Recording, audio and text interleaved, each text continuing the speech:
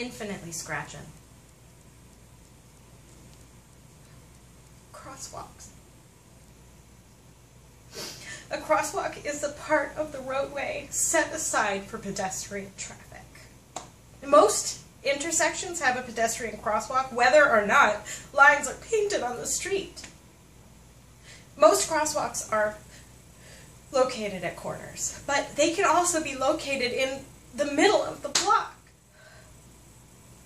Before turning a corner, watch for people about to cross the street.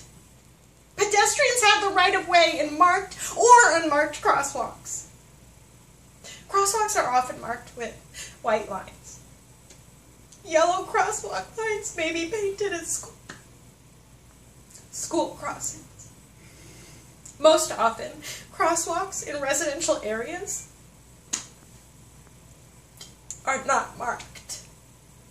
Some crosswalks have flashing lights to warn you that pedestrians may be crossing. Look for pedestrians and be prepared to stop, whether or not the lights are flashing.